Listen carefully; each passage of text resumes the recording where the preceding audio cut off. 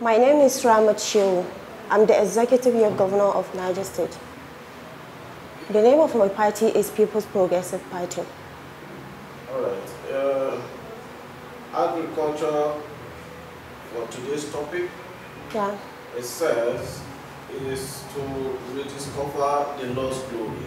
So I want you to please expatiate that and how you, if elected, how you intend achieving that in your government. All right, thank you very much. As it is said, agriculture.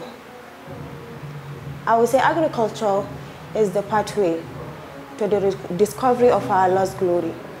Because before the invention of the oil, I believe agriculture is the first introduction that was introduced to man as a means of livelihood. And um, I could remember, and uh, before the amalgamation of Nigeria, agriculture was the first means of business in the African country. That the European used to come to, um, the Africans to come and take oil, and that is our palm kernel seed back to their own country to go and grow there.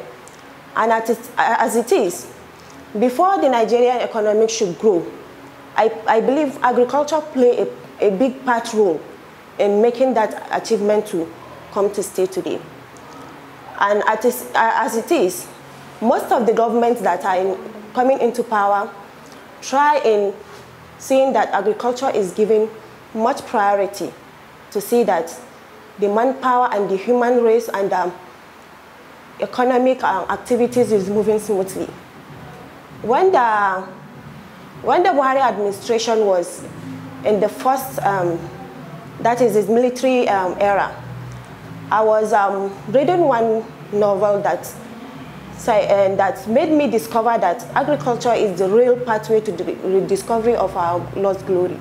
Because as of the discovery of, of the oil, agriculture was the, the means that was used to create the factory today that we are enjoying in the oil industry today. So I believe if I'm made the president of this country, under my People's Progressive Party, I will create an innovative means of this, rediscovering this agriculture by changing the uh, manual means of making uh, like manual means of doing things in agriculture to innovative, um, agro-mechanical, and technological agro and mechanical and agriculture. Thank you. All right. What do you produce in? Um, the major, um, there are a lot of them, but the major ones are shea butter, rice, and fish is one of it. Yeah. We do have fish from the Bida part, the Mokwa, the Agaie side. And the rice is from that same place too. And we also grow, we grow a lot of farm crops and um, maize is one of it. Um, millet, granite, and so on and so forth. But you didn't mention yam. Are you down in Niger State? I believe it's the part of the Gwari part. That is the, the, that is the Tafalite side, the Gurara side, and I'm not much acquainted to those side. Thank you, sir. Thank you, Your Excellency. We Thank wish you. you the best. Thank you very much. Thank you, ma'am.